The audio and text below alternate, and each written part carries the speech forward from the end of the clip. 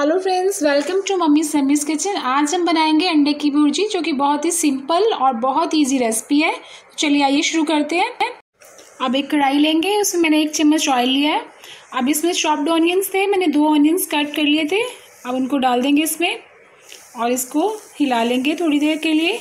अब अब इसमें चाहें तो टमाटोज़ भी ऐड कर सकते हैं, लेकिन इसमें मैंने टमाटोज़ ऐड नहीं किए हैं। लेकिन ये ऑप्शनल है। अगर आप चाहें तो आप इसमें ऐड कर सकते हैं।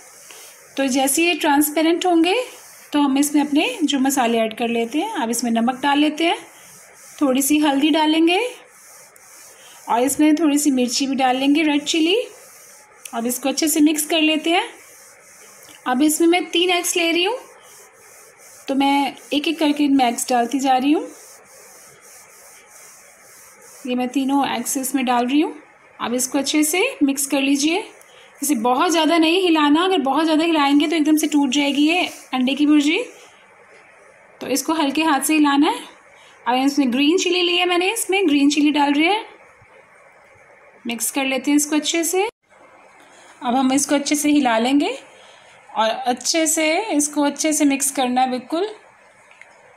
जैसी बनने लग जाएगी, ये साथ में एक साथ इकट्ठी होती जाएगी। ये देखिए, अब लास्ट फिर हम इसके अंदर कोरिएंडर डाल देंगे। और इसको मिक्स कर लेंगे। और अब इसको सर्व कर लेते हैं हम।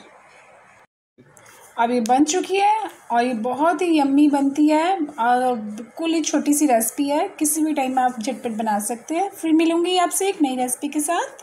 तब तक के लिए बाय